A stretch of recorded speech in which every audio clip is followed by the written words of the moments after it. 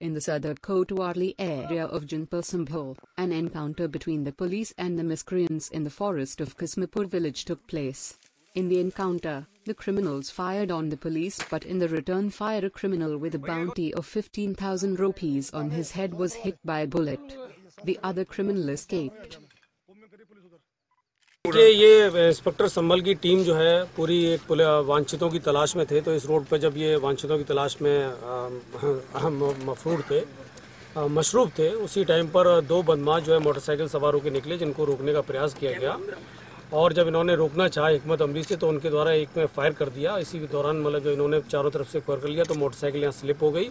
Kotwala Nilbhima Iya was going to Kismapur village with a police team around 10 o'clock on Monday night, when he saw two men riding on a bike come his way.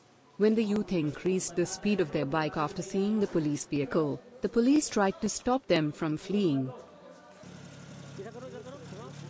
पता चला है कि वो एक history sheeter है पंद्रह हजार रुपये का इनामी है संभल थाने से तीन मुकदमों में वांछित था इस अभियुक्त की एक लंबी क्रिमिनल हिस्ट्री है करीब बीस से ऊपर मुकदमे लूट चोरी गैंगस्टर एनडीपीएस और किडनैपिंग सभी तरह के के अपराध में ये लिप्त था।